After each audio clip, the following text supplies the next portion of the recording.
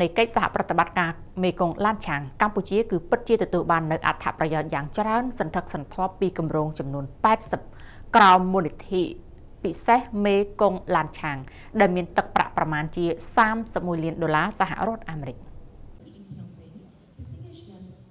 ក្នុងឱកាសអបអរសាទរទិវាសប្តាហ៍នៃកិច្ចសហប្រតិបត្តិការមេគង្គឡានឆាងឆ្នាំ2023នៅរសៀលថ្ងៃទី22ខែមីនានេះក្រសួងការបរទេសនិងសហប្រតិបត្តិការអន្តរជាតិបានលើកឡើងថាវិសាលភាពនៃសកម្មភាពកិច្ចសហប្រតិបត្តិការមេគង្គឡានឆាងគឺមានភាពចម្រុះនិងក្របដណ្ដប់លើវិស័យអតិភិបជាច្រើនរាប់ចាប់តាំងពីវិស័យអភិវឌ្ឍជនបទការកាត់បន្ថយភាពក្រីក្រធនធានទឹកកសិកម្ម ការតភ្ជាប់ផ្លូវអាកាសសុខភាពការអប់រំទេសចរការអភិរក្សបេតិកភណ្ឌវប្បធម៌រហូតដល់ការពង្រឹងភាពអង្អាចដល់ស្ត្រីក្នុងចំណោមវិស័យអតិភិបដទៃទៀត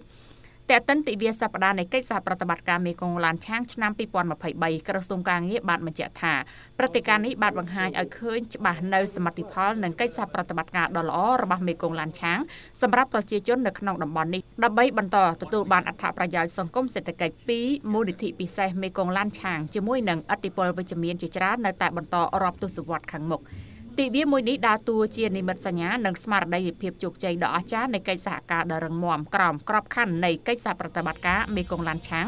និងបង្ហាញពីស្មារតីពិតនៃកិច្ចសហប្រតិបត្តិការល្អលើគ្រប់វិស័យមិនកំណត់ត្រឹមតែវិស័យវប្បធម៌និងមិត្តភាពប្រពៃណីប៉ុណ្ណោះទេក្នុងគោលបំណងដើម្បីជំរុញសមារណកម្មអនុតំបន់ក៏ដូចជាសម្រេចឲ្យបាននៅចក្ខុវិស័យរបស់មេដឹកនាំនៅក្នុងការកសាងសហគមន៍នៃអនាគតរួមគ្នាប្រកបដោយសន្តិភាព និងវិបលភាពនៅក្នុងចំណោមប្រទេសមេគង្គឡានឆាងដោយដែលបានចែងនៅក្នុងសេចក្តីប្រកាសសន្យាឆ្នាំ2016